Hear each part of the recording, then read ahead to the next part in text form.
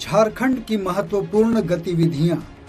झारखंड के मुख्यमंत्री हेमंत सोरेन ने सिमडेगा के पूर्व विधायक नियल तिर्की के निधन पर गहरा दुख व्यक्त किया है।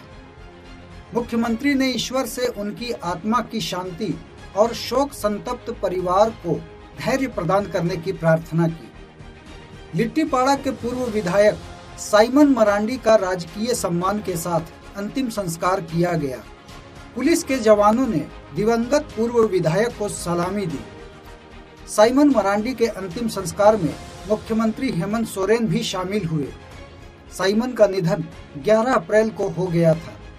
मुख्यमंत्री ने साइमन मरांडी के निधन को राज्य और पार्टी के लिए अपूर्णीय क्षति बताया है। हम लोग के मार्गदर्शक